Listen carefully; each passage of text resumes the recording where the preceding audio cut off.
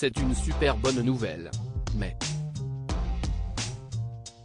Pour Christophe de Chavannes, tout premier présentateur du SIDAction en 1994, l'annonce de la gratuité du préservatif en pharmacie pour les 18-25 ans à compter du 1er janvier 2023 est bien évidemment une avancée mais elle comporte tout de même un bémol, la tranche d'âge concernée par cette mesure, les jeunes de 18 à 25 ans.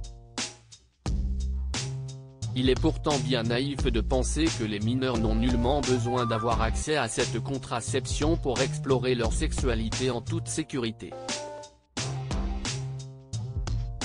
Comme la pilule du lendemain, prescriptible pour les mineurs par les pharmaciens sans passer par le médecin, ne pourrait-on pas inclure en priorité, pour les préservatifs, les mineurs très largement concernés, a ainsi commenté l'animateur sur son compte Twitter en réponse au tweet du président de la République annonçant officiellement le dispositif, ce jeudi 8 décembre. Une interpellation qui est visiblement remontée jusqu'au chef de l'État, pourtant en déplacement à Alicante, en Espagne, pour un sommet européen, puisque ce dernier a répondu à l'ancien présentateur de la roue de la fortune. Ce qui guide mon action, c'est de protéger nos concitoyens, de protéger notre jeunesse, affirme-t-il dans un tweet publié dans la soirée, ce vendredi 9 décembre. Il poursuit, je vous réponds donc, Banco, nous allons le faire. Supérieur à supérieur à Brigitte et Emmanuel Macron aux États-Unis, dîner, star, éclat de rire. Leur voyage en images j'ai été pris à partie aussitôt dit, aussitôt fait. Emmanuel Macron a posté une nouvelle vidéo sur son compte Twitter, une vingtaine de minutes plus tard, pour annoncer officiellement l'élargissement du dispositif.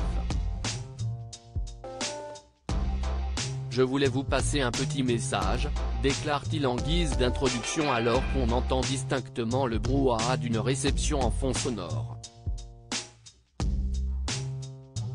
Hier, j'ai annoncé qu'à partir du 1er janvier prochain, les préservatifs seraient gratuits pour les 18-25 ans. C'est une petite révolution. Mais j'ai été pris à partie par beaucoup, en tout cas plusieurs d'entre vous, sur le fait que beaucoup de jeunes mineurs avaient des rapports sexuels et qu'il fallait qu'ils puissent se protéger, reconnaît le président de la République. Alors, je dis Banco, allons-y, on va faire travailler les équipes pour étendre cette mesure aux mineurs, annonce-t-il fièrement. Tous les mineurs et les majeurs jusqu'à 25 ans devraient donc pouvoir bénéficier de la gratuité des préservatifs en pharmacie à partir du 1er janvier 2023. Article écrit en collaboration avec 6 médias. Crédit photo, Stéphane Le Mouton.